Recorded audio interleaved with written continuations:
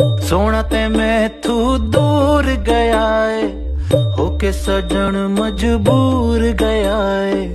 ਅੱਖੀਆਂ ਦੇ ਵਾਸਤੇ ਖੁਸ਼ੀਆਂ ਹੋਵਣ, ਹੋ ਕੇ ਹਿਜਰ ਵਿੱਚ ਚੂਰ ਗਿਆ ਏ ਸੋਹਣਾ ਪਿਆ ਪਰਦੇਸ ਖਟੇਂਦਾ ਸਜਣਾ ਨੂੰ ਦੂਰੋਂ ਦੂਰੋਂ ਵੇਂਦਾ। ਸਾਡੀ ਤੇ ਸਾਰੀ ਸੁਣਦਾ ਹੈ ਪਰ ਆਪਣੀ